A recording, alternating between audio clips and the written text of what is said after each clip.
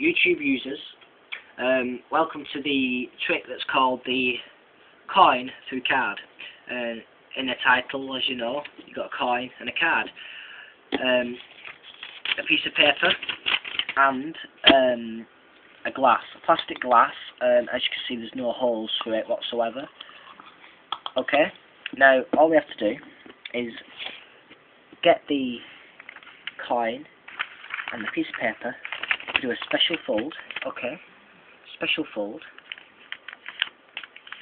and hopefully the coin actually does actually become trapped and I'm sure you can see that the coin is still there. See the outline of it? Yeah? Okay. Brilliant. Okay.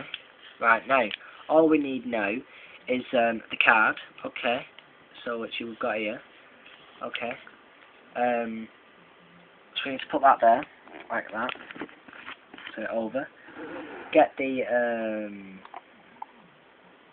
card there, right, get the coin, the card wrap round, put that on top, if we rub a bit, hopefully the coin will go through the card, hopefully, like so, lift this up, and open up this,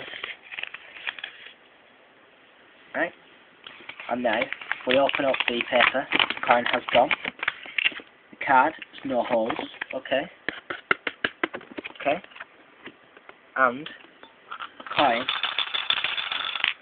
is in there, okay, okay, and that was the card, the coin to the card.